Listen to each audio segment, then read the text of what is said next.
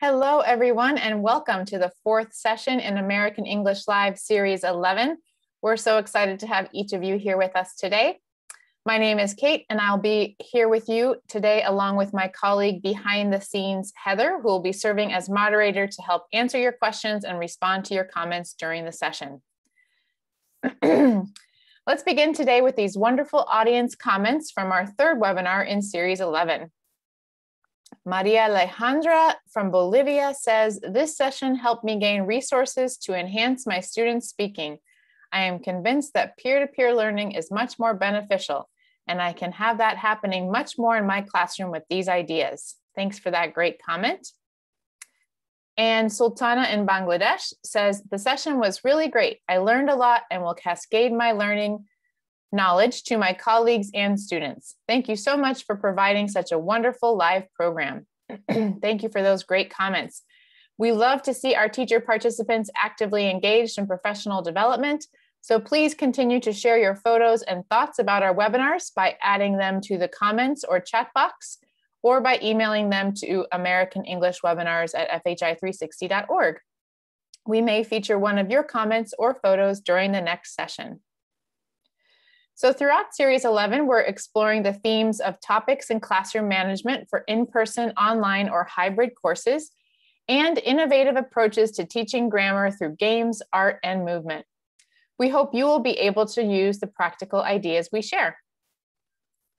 Here's what to expect today. Each session is about 60 minutes long, and the presenter will present the material, and I, as your host, will ask questions and make comments as well but we really hope to hear from you, our audience, so that we can address your ideas and experiences. Please do share your thoughts using the comments feature or chat box.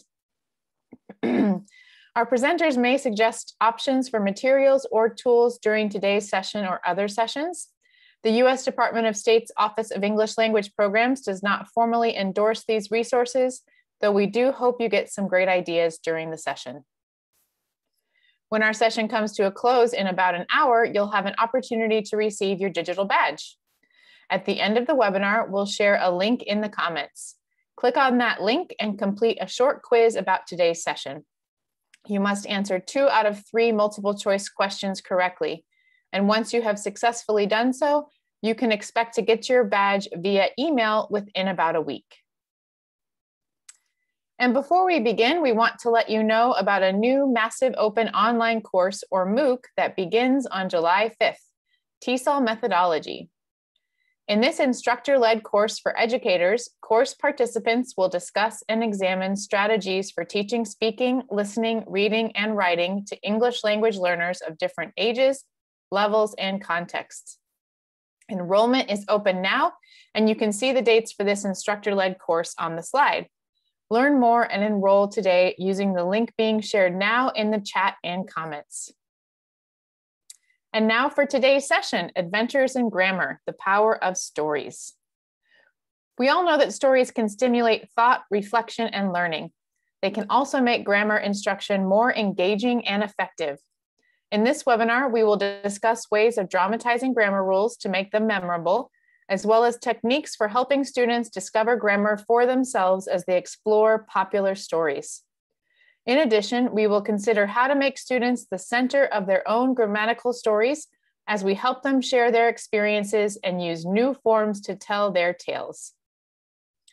And now we're pleased to introduce our presenter, Dr. Christopher Stillwell. Christopher has taught English as a second or foreign language in Spain, Japan, and the United States, and he, sorry, and he has worked as a teacher educator in such places as Egypt, Peru, and Laos. He has edited two language teaching insights from other fields books for TESOL International. Christopher works with teachers and language learners at University of California, Irvine and the College of the Sequoias. In the past year, he has served as a mentor at Teachers College Columbia University and as a U.S. Department of State English language specialist in Brazil. Welcome, Christopher. We're so happy to have you here with us today. Thank you, Kate. I am thrilled to be here. Let's get started. When I think of stories and language teaching, I think of the time when I was teaching ESL in New York. I loved to walk the streets and remember the adventures I had heard about from movies and books. I thought those stories might be nice to discuss in my classes, but I never expected that my students and I would go on adventures ourselves. I was wrong. One hint that real adventures were waiting came when I was walking downtown and I came across a time machine. I never got to talk to the driver, but I wondered if a time traveler came to class, what kind of grammar would we use to talk about their adventures at different points in time? On another day in Brooklyn, I found a store that sold supplies for superheroes. This is true, everybody. They have this store. Now, think of the possibilities. I mean, just imagine what kind of customers are there and, and how would they use grammar to make polite requests for a cape or something, right? I didn't know what to make of this, but one thing was clear. In New York, and maybe everywhere in the world, there was a surface world of normal, everyday life. But just below the surface was a world of stories and adventure and grammar. This was never clearer than on the day when my language class was interrupted by an urgent message about a, a, grammar emergency, which took us all on an adventure I'll never forget. In fact, well, I'll tell you more about that later. But, and, and we will explore several practical activities that harness the power of stories to teach grammar. But before I go any further, I would like to hear from you. Can you tell us why should we use stories in the language classroom? Yeah, let us know, everybody. Why should we use stories in the language classroom? What do you think? So, there are so many different ways that we use stories in our day to day lives, but we can also use them in the language classroom. What do you think? Why should we use them or what can we do with them? What do you think, everybody? Let's see, we can nurture creativity from it from Noemi. Great idea. Yeah. Because students love them. Absolutely. Yes. Thanks, Laurel. Let's take a look over here on the other page. Let me see David says real stories are always interesting. I agree. Totally. Absolutely. It helps students, it's great to catch the students' attention from Mauricio. It helps students to learn about reading from Saw Sandy. And it can help them make connections to experiences that they've had. So those are all wonderful responses. Thanks for sharing, everybody. Beautiful. I, I love that, that last comment in particular about connecting to experiences. That's something we're going to talk about today. Different kinds of stories and, and how we can connect with our students. Now, when I think about using stories in the classroom, I agree with all the comments that I heard. And I would, I would say that stories are great for engagement. They can make our lessons more interesting. And, and when we teach lessons through stories, it, we, we stimulate thoughts and reflection and learning. And as we embrace storytelling, we improve learners' communication skills. Now, we've been talking about stories in, in the classroom, but what about grammar and storytelling? Well, I, I think teaching grammar through stories is great too, of course. For one thing, it can make the rules memorable. It can provide rich context to discover how we choose our grammatical forms to match particular meanings in particular situations. We get a lot of context to work with. And finally, I would say that it leads to independent learning of grammar because students can get in the habit of enjoying their own reading and listening, but also noticing the grammar there as well. So today I want to talk about this through three techniques. The first is how do we use students' own stories for grammar skill development? I will share an idea for an activity here. And I'll also talk about an activity that can help students discover grammar in existing stories. Finally, we're going to talk about ways to bring grammar to life through drama and story. Let's start with that first one. How should and why should we use students' own stories for grammar development? I can think of a number of reasons. For one thing, it's student centered. When we use students' stories, we look at the language they produce. We find out where their strengths are, and we also see what they need to work on. It's motivating, it's personalized as students share the stories they want to talk about in the ways they want to talk about them. It's very, very adaptable. I'm going to talk about a lot of different activities today, but keep in mind that if I give an example with present progressive, well, you can probably also use many different kinds of grammar for these situations, especially in this case of writing stories. And finally, we've got two more things here. Learner stories have great characters, our students. And as we learn about these great characters, we build community because the more we know about each other, the more we can develop a positive classroom atmosphere. So how can we do it? Well, I have two ideas I want to share with you. The first is getting students to share about their lives. And the second is capturing language experiences. So let's begin with another question here. Can you tell us what writing prompts do you use when you want to get students to share about their life experiences? Yeah, great question. So, what do you think, everybody? I'm sure you've used different writing prompts for your students to help them get ideas flowing. What writing prompts do you use to get students writing about their life experiences? What do you think? What are some questions that you ask them to write about? Let's see. You can ask them about different memories. Great. Right. You can you can start by saying, I remember when from Susanna. Great. You can provide pictures. Maybe that will spark some ideas about their own experiences. That's from Sandy.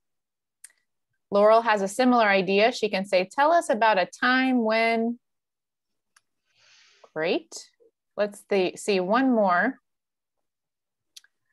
Um, you could even use ideas um, to spark a new cultural topic, or you could say what they felt like when something happened. So, those are all great ideas, everybody. Thanks for sharing. Very nice. Thank you. Yeah, I, am actually taking notes. I've got my pen here and I'm writing these down. I, I love the idea of asking students to talk about their memories. Uh, and I can imagine that something like that would get students to practice the past tense, right? Or if they talk about what they were, are doing at a special time, uh, that might also get past progressive. I, I also heard the idea of using pictures. And that's a that's a great opportunity. In that case, we could get pictures. Students could use their own pictures, or maybe we could have pictures of graduation from school, perhaps, and students could imagine what what their day will be like in the future. So there are many opportunities to practice all kinds of grammar with these writing prompts that you talked about, and of course, we are learning about the people in our class and and building a community. So I love that. Thank you very much. Now I want to share an activity that could be used with these kinds of prompts. So the first thing we might do is start with a question that could be interesting to the students. In this case, I have the question to think about the time when you heard that our school was going to close for coronavirus. What were you doing? Now, this question is a question that all of the students should be able to remember and, and they, they can share from their experiences. We want to focus on those experiences first and think about the meaning, but still some students will be ready for a grammar challenge right away. In that case, we can add challenge. Try to use past progressive in your response to talk about what you were doing at the time.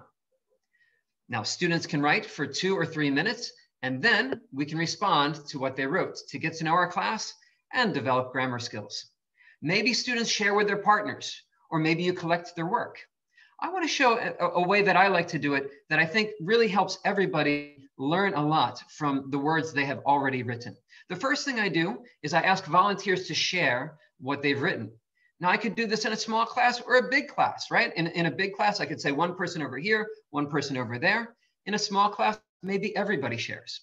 But I put the sentences on the board and then I respond to the meaning. I look at what they're saying and, and I, I convey that they have communicated well, that what they meant to say is something I understood.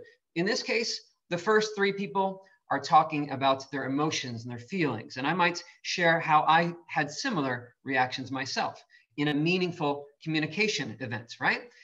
The last two, we might note that they capture the moment of their experience of what they were doing at that time. Well, that's interesting. We're going to come back to that, I'm sure. But next, yeah, let's focus on the grammar. The first kind of grammar might be an easier one. I might ask the class, guys, do you see any simple past verbs? And as they tell me, maybe I can underline them on the board, or if I'm online, maybe on my PowerPoint, I can highlight them if I'm sharing my screen with the students. I might also ask, what verbs are past progressive? And again, we can underline or highlight, and we can talk about how are these sentences different from the other ones that you wrote. We can pay attention to other things like time words. In this case, there are three examples of the word when. Now, we go through all of this, we highlight the most effective choices, and we kind of celebrate them. And then we invite the students to make some changes. So we say, all right, guys, we saw great examples of past and, and past continuous and when. Maybe you didn't do that in your writing, that's fine, but please try again. Or if you did that already, maybe make a new sentence and try to use these forms. Give the students a few minutes to try that and then maybe invite different students to share what they wrote and talk about how they made improvements inspired by what they learned from their classmates. So this is just one approach. Now, one thing that's happening here is we are capturing what the students write and we are getting them to notice the grammar in their words. I'd like to talk about that a little bit more. So the second principle is capturing language experiences. As students share st stories, they build community, and we can help them notice the grammar. The next thing we want to do is we want students to notice grammar on their own, outside of class even. We want this to become a habit for them. And we can prepare them for that by doing another activity in class first. And the activity that I like is role plays. Now, when I talk about role plays, I don't mean scripted conversations from the textbook. I mean language practice, where each student plays a role and they discuss a scenario through improvisation, right? There's no writing, no reading. It's just talking and inventing, spontaneous. Now, through role plays, students can draw from their own stories and experiences to explore grammar. We could use this for almost any kind of grammar you can think of. I'll give you a few examples. We could ask them to do a scenario where they give advice to each other. Or we could have a scenario where one person is asking for something and giving reasons. Maybe the other one is saying no and giving reasons. My favorite, current, my current favorite is predicting the future. This is something I tried with my students recently and they loved it. One student is a fortune teller and they are predicting the future for the other students. And they're talking about all of the wonderful things that their classmate will do someday. That was a lot of fun. Now, these activities are great for practicing language and just getting students to communicate, right? But there is a problem sometimes. And that problem is that students may finish a role play without using the intended language or without noticing it. Maybe they used the language, but they didn't realize it. So after an activity, it's important to give students a moment to reflect. A, a, paper like this one here might help them to capture the role play language by collaborating on a written dialogue. Now, did you notice that word there? Collaborating. That's a big part here. That's, that's one of the great things about a language classroom. If we're together live, then we can give students a chance to learn from and with each other when they collaborate. In this case, they can write the dialogue together, and as they do, they will naturally talk about grammar and vocabulary and, and try to get things right. Now, sometimes students will say they don't remember what they said in their role play. No problem. They can draw from whatever they do remember to make a new dialogue, and that's fine too. Now, this exercise is something that students can use to capture the language that they speak, but they can also do something similar to capture the language they hear. Maybe they go to a coffee shop or maybe they watch a show and they can write some things of what they heard there as well. We can even have students write down situations that have uh, a certain, what's, what's the, um, a certain surprise. Now the element of surprise is, is very nice in stories. Stories often have a surprise, or maybe we call it a twist. And these stories with a surprise or a twist are often memorable. I wonder if we make some surprises in our own classrooms in different ways, would that make the lesson memorable too? Now, when I say surprise, I think of all kinds of things. One kind of surprise might be simply getting students to notice something that they never saw before in a textbook, in a grammar, in a video. But we can go a little bit further if we want. Now, I wanted to show you a, a, an example of something I tried in a class that really enjoyed jokes. Uh, we were talking about culture and April Fool's Day, and, and they, they, had, they, they had a funny sense of humor themselves. And in this class, I wanted them to understand about quoted speech, about repeating exactly what they hear from one person to tell a story to someone else. And I thought maybe a surprising experience would, would be a perfect match for them. So I planned an interruption to my class with some of my fellow teachers who also enjoy this kind of thing. I wrote a script and the teachers and I practiced before class. And then, well, we tried it in class. First, in the middle of my class, as you can see in this picture here, I was teaching and another teacher, Phil, he came in with a request to make an announcement. Well, I said it was a bad time, but he insisted. This was all part of the script, right? I, I, quickly got annoyed and I told him that if he was so interested in talking to my students, well, he could teach the whole class himself. It was very unprofessional, I admit that, but I gave up and I walked out. And, and Phil, he followed me. So for a moment, the students were alone, and maybe it was a, a, strange situation for them, but only for a moment, because then another teacher they knew, Ben, he came by and he saw that there was no teacher in the class, and he stepped in to ask some questions. He asked them, Did Phil interrupt your class? What did he say? And the students answered, Well, Phil wanted to talk to us, uh, Chris said, We don't have time, but Phil said, I only need a minute. Well, as you can see, Ben's questions naturally guided them to use this kind of speech. However, I don't know if they ever would have noticed it. So that's why I asked Ben to go further in this part. He said, We will need to tell the director about this. Could you please write what happened on a piece of paper? Maybe you can use the papers already on your desk. He pointed at the papers. This is what they saw. And at this point, most of the students laughed and realized that they were in the middle of a pretend story. But the writing part, that was serious. Because as they wrote what they remembered, they were noticing and using the grammar that I wanted them to use. Now, we could do this with any kind of grammar, right? We could imagine a, a scenario about using advice or other things and getting students to notice it later. In this example, I was having all the fun, but it doesn't have to be that way. If you have a class like I did where they enjoy these kinds of jokes and games, you could invite students to plan a day when they will surprise the class with a conversation that we overhear and talk about. Or we can keep it simple. Remember, surprises don't have to be these, these big um, dramatic things. A surprise sometimes can come from asking students to look at a sentence a second time and see something that they never noticed before. Now, another kind of surprise would be the interruptions that we get throughout our, uh, our classroom uh, lives together. So if we have a, a real announcement from a visitor, great. That can be a language learning opportunity too. It was unplanned, but there can be some surprises there. Or maybe your class goes to an assembly, or maybe you, you leave the classroom and go on a trip. These are all opportunities to look for things that were not planned and maybe find some memorable lessons. Now, in all of these cases, I want to make a note that it's often a good idea to prepare students for the language of the surprise.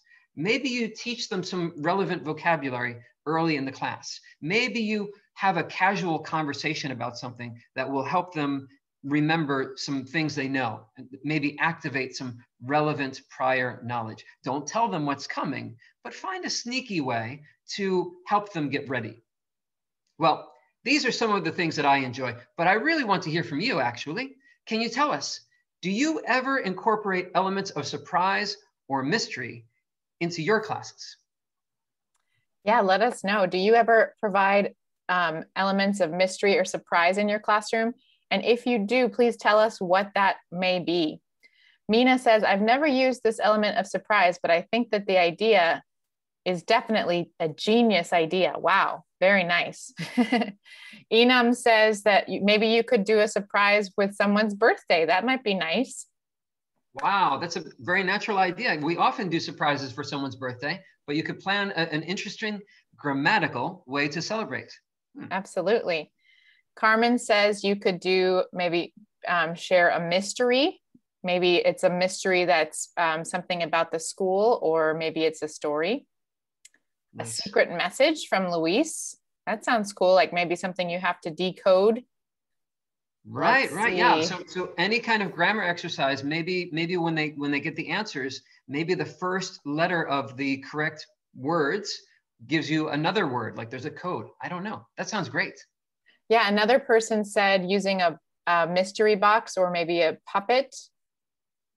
Let's Those see, a treasure, a treasure hunt. And uh, one person said I was pretending I was sick, and the students had to guess what my illness was. That's a good idea beautiful. too.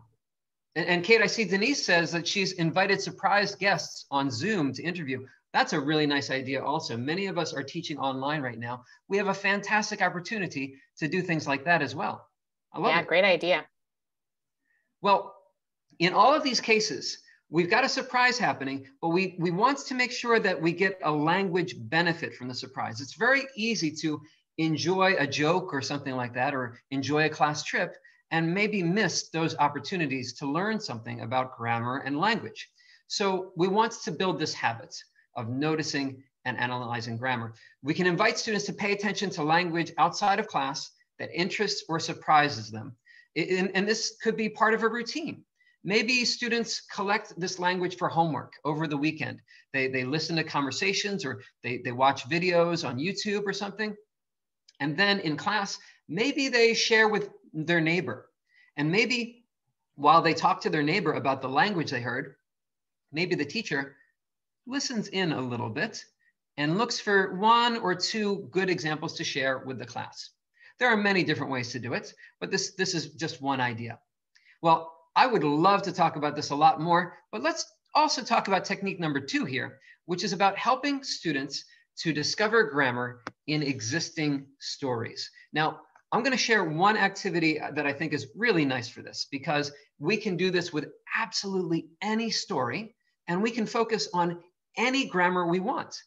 It's called Dictogloss. Now, Dictogloss sounds like dictation, but it's not. It's not the same thing. Dictogloss is something where students first learn about the context and essential vocabulary of something that they're going to listen to, right? As the teacher, maybe I'm going to read something to them from one of my favorite books, right? And first, I have to tell them what is the book and a little bit about the situation. After that, then I, I open my book to the passage that I choose and I read. And maybe I read it two times, but this is not dictation. So the students do not write anything, they only listen. After I stop reading it, maybe two times, then they write from what they remember. And as they do, they have to kind of work out their own grammar because they won't remember everything themselves. Next, they can work with neighbors, with classmates to share notes and rebuild the text. And finally, we can look at the original text and compare. Kate, what do you think? Do, can, can we try this out? Yes, sounds great. Let's go for it. All right, I, have got an example here, and I found it on the American English website. This is a really great website with a lot of nice resources. And here's uh, for free, we've got The Adventures of Huckleberry Finn. It's a really famous book by Mark Twain, but it is adapted for language learners. Now, in the part that I'm going to read, it's about how Huckleberry Finn has recently been adopted. Uh, he's, he's a young, he's a boy, he's been adopted, but he is having trouble adjusting to life in his new home. And so remember that first step, right? I tell students what the story is, I tell them the title, maybe the characters, and I can do more. Let's look at a picture. If I show students a picture like this, it can give good hints about words that we will encounter. So I, I could ask the class, what do you see? And, and Kate, I'm going to ask you, Kate, what do you see here? Yeah, let's see. It looks sort of like a window from a house, maybe from a bedroom or something, and you can see the beautiful stars. It's nighttime. Um, it looks like it might be a little breezy. There's some nice trees there. Um, yeah. Wonderful. Yeah, yeah. And so as I talk to the students, just like just like you're, you're pretending to be a student now, Kate, I can write the words on my PowerPoint if I'm doing a live online class, or I can write them on the board. And then I, I can also say to myself, hmm, I know they need more words, but I don't see them. And I can give them some prompts. For example, Kate, you mentioned stars. Uh, what's a good verb for stars? Hmm, let's see. Um, stars shine. So I think shine is a good verb for them. That, that is a good verb, yeah. And, and actually, you, you might hear that verb when I talk about this part of the story. All right, this is great. Thank you, Kate. So now we're, we're ready to begin, or, or almost. We're going to listen only. But let me be clear, this is not a dictation. So when I read, you're going to listen only. Kate, I, I want to be super clear. What are you, when I say you're going to listen only, I mean you're not going to what? Uh, not write, only listen. Exactly, exactly. Okay, so here we go, everybody. Please listen and no writing. Here we go. The stars were shining, and the wind moving the trees sounded as though it was whispering to me. I couldn't understand what the wind was saying. Far away in the trees, I heard the kind of sound that a ghost makes. I became so sad and frightened that I wished that I had some company. In a real class, I would read that two times. After that, I would say, okay, everybody, now you can pick up your pen and you can write. And guys, don't use a pen. Please, can you join us and write the words and phrases you heard in the chat? Yeah, what did you hear from that passage that Christopher shared with us? What words or phrases did you hear? Yes, Denise says like a ghost. Ghost is a very important word in that passage for sure. What yeah. other words or phrases did you hear? I wished I had company. Yep, definitely. Wind, trees, a lonely person sounds like something about a ghost from Micah. Shine, whisper, those are some words that Sandy heard. Company and wow. ghost from Diana. Now, Kate, one thing I notice is our audience is, is very good with English. And, and of course, the, you, you guys are doing great with capturing things in a very difficult passage. But like I said, in, in a regular classroom, I think it would be important to read it twice. And I'm sure you all would be sharing even more language in that case as well. Now, what happens next is the students gets together and they share what they heard. Maybe each one takes a turn reading their notes you know, I, I, would probably put them into groups of maybe three people, and each one shares what they have in their notes. And then after that, they work together to reconstruct the whole story. Maybe they write the story on the board, maybe they write it on a slide or a poster. It depends on, on what kind of class we have, right? Now, as students do this, they get a valuable opportunity to learn from and with other students. Once again, there's that collaboration happening again. And I hope we have a good community because we've gotten to know each other through our stories. And as they write the story together and collaborate, there will be natural opportunities for them to ask about each other's grammar and, and try to get it right. Well, after that, we can compare what they wrote with what their classmates wrote. So maybe everybody puts their writing on the board, or maybe it's a shared slide, like a Google, Google slide or something. And then we look at what we have here. And just like I did before in the previous writing example, I can start highlighting things, right? So maybe I'll highlight how they began. Everybody began by talking about the stars, right? And so maybe I'll highlight that the first one says star was shining, and the second one says star was shining, but the third one says star were shining. And we could ask a question. We could ask, well, which one is correct? Or are are none of them correct? Do we need to make some other changes? We can also look at the way they wrote their closing sentences. And we, we can look at many, many different things. And as we do, we can highlight them. So I think, I think if we if we advance the slides here, we'll see stars were shining, and then we'll also see the, the last sentence, and we can highlight many different things as we look at the next one. Yes. And now, once we've done that comparing across the groups, now we compare with the original. This is what we've all been waiting for, right? Everybody's super curious to find out were their guesses correct or not? Now, I think we should keep in mind that correct does not mean exactly the same. Their versions are correct if they captured the story and they communicated it well. There's, we do not expect them to remember these exact words, and we certainly don't want them to cross things out when they see the original version. But we do want them to notice the ways that the original version uses grammar and vocabulary to tell the same story. And we want to see if they can find answers to the grammar questions that came up as they were talking in their groups and making their own versions. Well, I would love to talk about this forever too, but let's go to technique three, which is about bringing grammar to life through drama and story.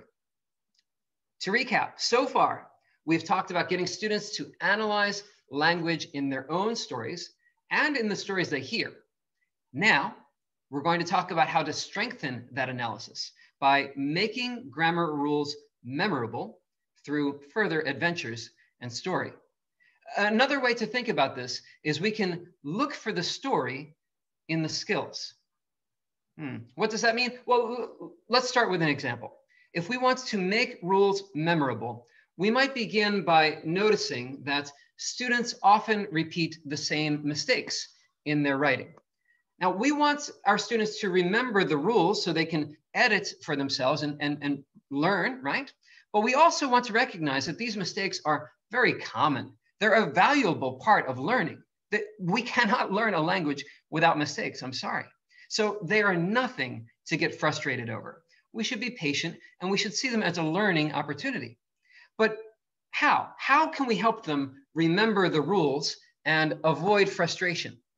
Well, maybe the principles of story and adventure might help. For, for instance, we can make editing a little bit less serious and a little bit more memorable through story.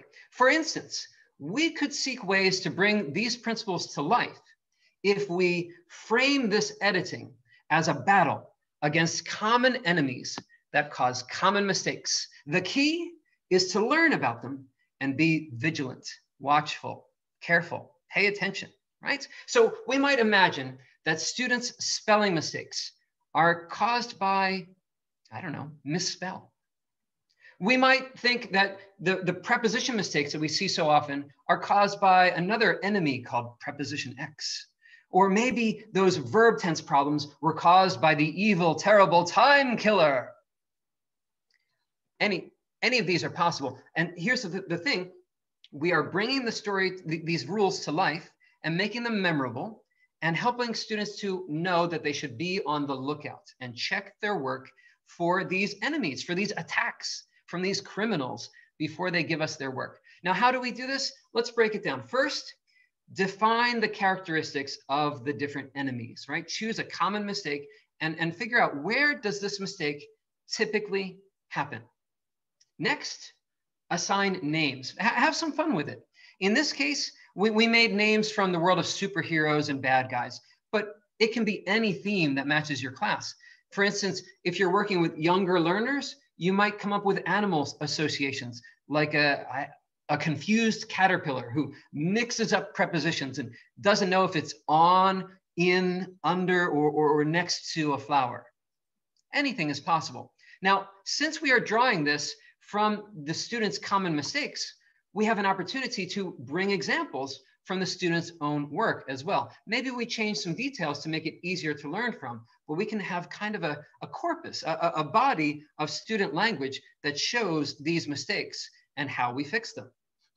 From there, that's the developing strategies part. We want to avoid the mistakes. So maybe we, we get strategies from looking at these examples we found, or maybe we grab a grammar book and we highlight some especially relevant rules. Now, one more motivating thing we can do here is we can keep track of progress and we can really remind students that this is a routine thing to do in their writing. One thing that I like to do is give students a box at the bottom of their paper. And in that box, it has reminders about the kinds of mistakes that they should look for. It, it might look something like, like this. Notice that it's not keeping track of mistakes, it's keeping track of criminals of communication. And so we have these questions. Did you check for articles? Were your verb tenses okay? And students are reminded to go look for those things. and they put an X on the line every time they find one of those mistakes and fix it. Or if they're not sure, but they think maybe it's right, maybe it's not, they can put a question mark there.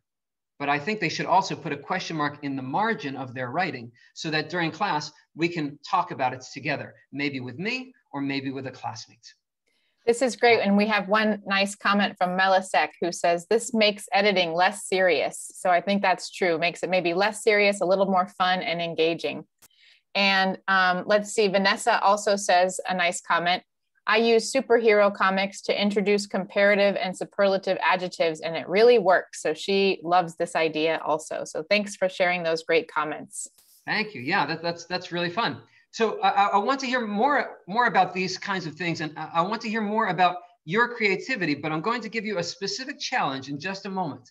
So the idea here, or, or, one idea, is that grammar rules can give students the ability to do something special. So this is another way to think about language, right? When we learn a new language, we get new abilities to do things.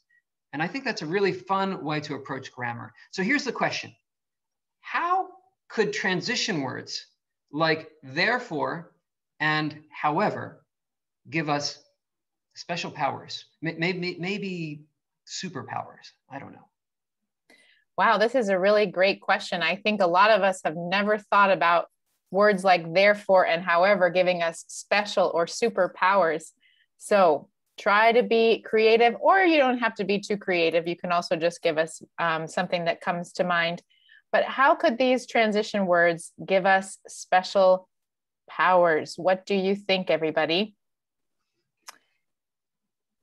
They help commun- for communication. Great, from Raleigh. What other ways could these words give us special or super powers? What do you think? Right now, Kate, I, I mm. think we're, we're, giving the audience a, a, an experience with another kind of surprise, right? This is a question that no one would expect, but it might get us thinking about things in an interesting, possibly memorable way. I don't know. Yeah. Noemi says that it could help us to contrast good and bad skills holds nice. your reader spellbound. Nice word there, Denise. um, it helps pr- critical thinking. Maybe that I think definitely critical thinking is a superpower for sure. And it makes interest. It makes the um, story more interesting and powerful. From Susanna. Great thinking, everybody. Thanks for sharing. I would agree. I would agree. I, I think these words really do make stories interesting and more powerful.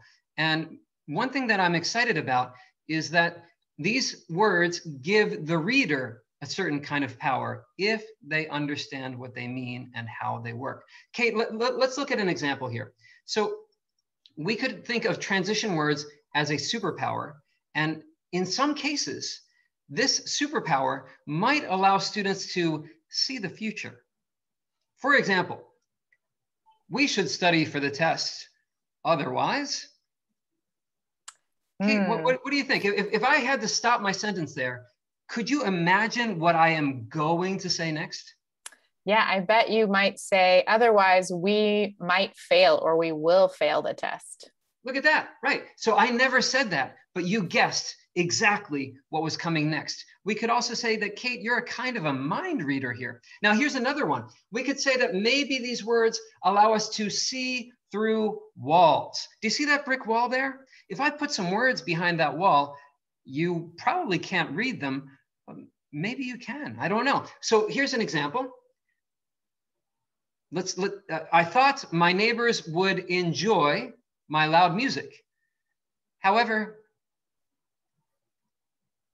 yeah, I think, think, let me see. Um, however, my neighbors were very angry and they called the police. Exactly. exactly. See, it, I, I, hid those words behind a brick wall, but I, it couldn't stop you from understanding, Kate. You have some kind of a transition superpower. Here's another one. Maybe these words can allow us to understand strange tongues, languages that we've never heard before, maybe languages that are not even real language. For, for instance, Miss Evernice told Sir Antigood, these are some of my superhero friends, Miss Evernice told Sir Antigood not to tell anyone her secret. Nonetheless, gobbledygook Now, now Kate, I just made that up. Gobbledygooktagoo is not a real word, but can you guess what, what I meant by gobbledygooktagoo? Hmm, I think maybe um, it was saying, nonetheless, Sir Antigood told everyone her secret. Exactly. Exactly. You, you, Kate, you've done it again. So you really do have a transition word superpower. Now, keep in mind, everyone, this approach can be used for all kinds of grammar. The point is that we think about what does this grammar point allow us to do? Some grammar allows us to talk about the past or the future or to connect things. And in every case, we think about how will that change my life? How will that improve things? In this case, with transition words, I've given you some very, um, well, odd, I guess, examples, but there is a reality to this as well, because throughout our lives, we, we often hear things that we don't fully understand. In the case of my students in New York, if they were waiting for a train and talking to someone, well, when the subway enters the station, it's very hard to hear. But if they heard the beginning and then they heard the transition word, maybe they can guess the rest. And this is also true for times when, when a speaker uses unfamiliar vocabulary. Maybe if we know these words like however and otherwise and nonetheless, maybe we can guess what that vocabulary probably means too. Okay, now we could also do this for using verb tenses to travel through time, or maybe using passive voice to avoid getting in trouble because maybe no one will blame me. The, the point is, we want to find the story in the skills. Now, another way to look at ways of bringing grammar to life is by imagining characters who embody certain principles. For instance, we might think of a, a fortune teller again who always uses for, uh, future tense to talk about predictions. We might think of a multitasker, someone who does many things at the same time.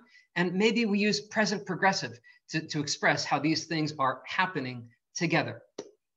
We could also go back to my story. Remember my story with, with a time machine driver. We could think about the verb tenses we would hear as we talk about time travel. We, we could revisit that superhero store in Brooklyn and, and talk about the superlative language discoveries we might make there. Now, in this spirit, I had a lot of fun exploring different ideas for how language could give us superpowers. And I'm happy to tell you that my students seem to enjoy it also. And in fact, they, they enjoyed going a little further with some creative writing. They, they created their own language superhero identities and, and they wrote about them. It kind of made sense. After all, language students are fluent in one language, at least one language already, but they develop new skills and identities in a new language.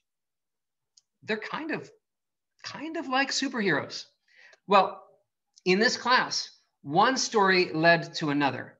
And before long, we all took on new superhero names and we reimagined our class as a, a, a super language league. Uh, I was Dr. English, and, and there were other characters that embodied certain grammatical principles. For instance, there was Passive Peterson. Now, he was an ordinary guy, not really a hero or a villain, not very active in his own life. In a way, he could help us understand the meaning of passive voice in grammar. For instance, at his job in the language laboratory, he was given a lot of work to do.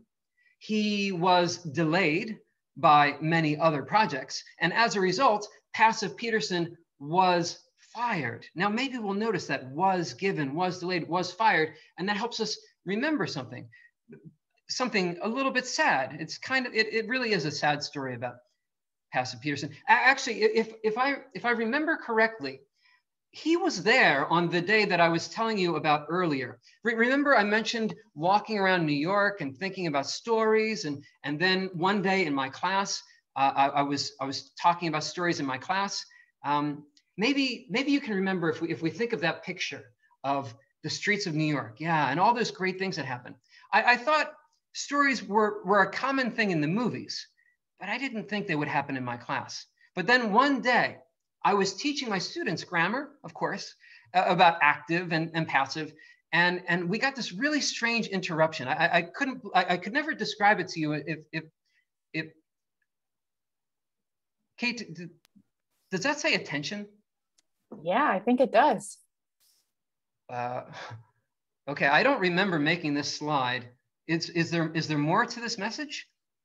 Do, well, that's me. That's Dr. English. Okay. Um, uh, active man.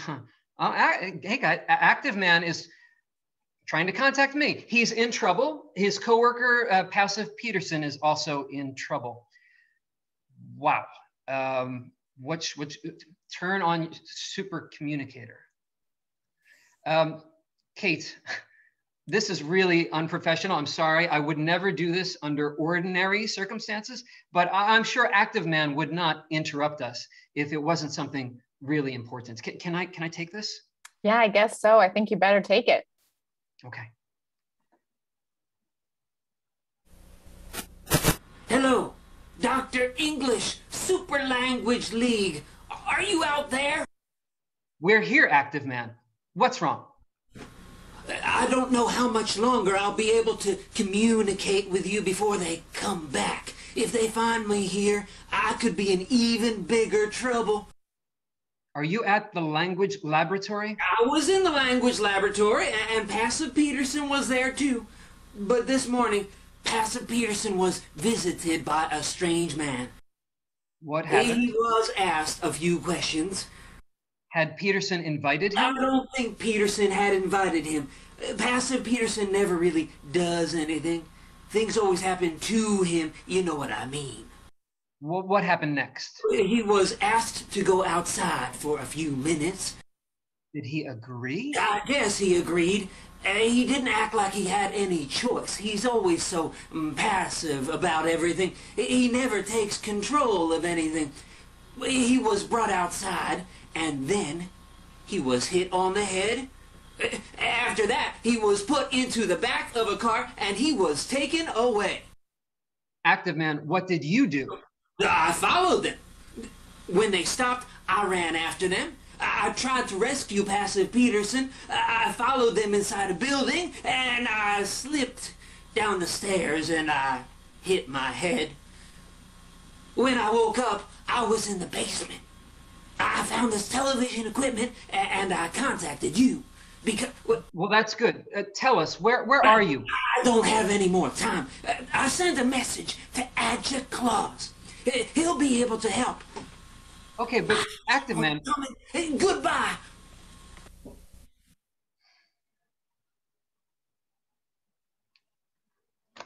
Wow. Um, that's uh, surprising. Um, and, and if I'm honest, guys, that is almost exactly what happened in my class in New York. I, I think I, I, need to give him some help. But before I do, let's let's consider this for a moment as an interruption, right? Now remember, we talked about interruptions before. How could an interruption like this be useful for language learning? Uh, can you give me some help? Yeah. If this happened in yeah. class. Yeah, thank you so much. And wow, what a what an exciting adventure we just were on there, and a lot of people applauding you or and saying awesome, etc. So let's see here. Um, um, let's see. What do you think, everybody? How could an interruption like this be useful for language learning? A lot of people saying that's an amazing activity, star emojis, etc. What else do you think? What could you do with an interruption like this, or how could it be useful? So Diana says you could make the transition from theory to practice. Absolutely. So you the students can see the grammar coming to life. It calls our attention and is very memorable from Micah. It changes the classroom at, um, atmosphere from Bilal. And everyone would pay attention to it. Denise says, yes, active man used the active voice and they could remember everything he did. I think we that's really you're onto something there, Denise. Yeah. And one more, um, you can reconnect students with the class. So excellent, everybody. Thanks for those great thoughts. Really nice. Yeah. I, I see I see Laurel adds, maybe we can ask the students what happened. And, and I think that's a pretty good idea. Now, if you think about it, this interruption brings us back to a number of things that we've been talking about today. First, we're bringing grammar to life through drama and story. Uh, in this case, we can think about the differences between active man and passive Peterson, as you mentioned. This interruption also had the element of surprise. Maybe that's good if the students are prepared for it somehow. In our case, I did talk to you a little bit about passive Peterson and active man before we started. Maybe that helped. And, and maybe that would also help make the surprise an understandable and memorable learning experience. However, we still need to make sure that students notice the language, of course. So one time listening might not be enough. I might need to pretend that I recorded this and, and play it again for them, or find some other way to get them to reflect on the actual language. After that, we can follow that step we said before of having students write what they remember and compare with their classmates. They compare notes with their peers, and then finally, we can look at the actual text, the, the script, and see what we notice about the grammar. Let's do that now. We heard that passive Peterson was visited by a strange man. He didn't do it himself, right? The man visited him, or Peterson was visited by the man. He was brought outside, and then he was hit on the head. This seems to be a, a disturbing pattern with passive Peterson. He's the subject of the sentences, but he does not do the actions. The actions in the sentence happened to him. And, and again, we see after that, he was put into the back of a car and he was taken away. Whew. But what about active man? What kind of language did he use? Did, did you notice? One thing he said was, I followed them. I ran after them. I tried to rescue Passive Peterson. I, he said something like that, right?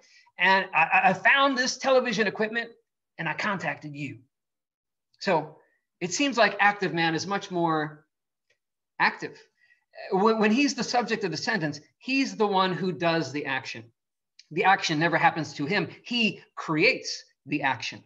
Well, at this point, I should settle down a little bit, maybe, and, and note that surprises don't have to be super dramatic. Big adventures like this, they can be fun, but we can also keep it simple. As we use the power of stories to teach grammar, maybe it's enough to just remember the value of variety. If we remember that everybody learns in different ways and finds different things interesting, and, and sometimes routines can get boring. Now, routines can be great when we know the expectations and we keep things efficient.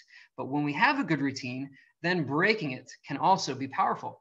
And, and I'd like to say that variety in instruction can make lessons memorable through another kind of surprise, just something we've never done before.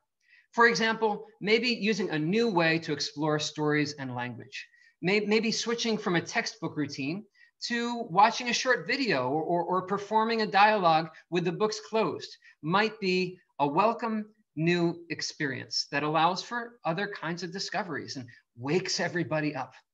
The bottom line is that when we give our students memorable experiences, we can increase their interest and their learning. After all, I like to think about this quote that life is lived twice. The first time is experience. The second time, well, that's a story. Today, we've talked about three ways to help our students have these experiences about stories that might become stories themselves. We can use students' stories for grammar development. We can help students discover grammar in existing stories, and we can bring grammar to life through drama and story. As we do all these things, we can show students how to have adventures with language. We can create learning experiences that students will be happy to revisit and remember. Now, I have to tell you, I'm really happy that I had a chance to revisit and remember a few things with you today. And I, I, really loved the ideas that I heard from you. And I wrote a bunch of them down here. So thank you so much for that. Uh, I enjoyed your ideas and I hope you'll be telling me more about your ideas. My, my email is at the beginning of the presentation. I'd love to hear about grammar, adventures, and storytelling. Thanks, everybody. Thank you, Kate and Heather, Elena, everybody. Really fantastic. I appreciate this. See you later, everybody. Thank you so much, um, Dr. English, Christopher. It was a wonderful presentation, and I see so many people um, saying the same thing in the comments and the chat. Um, what a great webinar. We all had a lot of fun um, learning about these really exciting and for us, uh, for a lot of people, new techniques, including myself. So thank you so much.